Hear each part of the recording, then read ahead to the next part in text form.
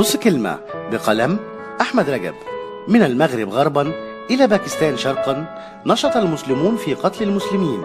ويشاع أن المسلمين الذين ماتوا ميتة ربنا خلال السنوات الماضية هم عراقي واحد سوري واحد وأربعة من ليبيا وثلاثة من اليمن وواحد من أفغانستان واثنين من تونس وأربعة من باكستان. الفتحة للجميع قتلى وموتى. أحمد رجب أداء صوتي ياسر حماية.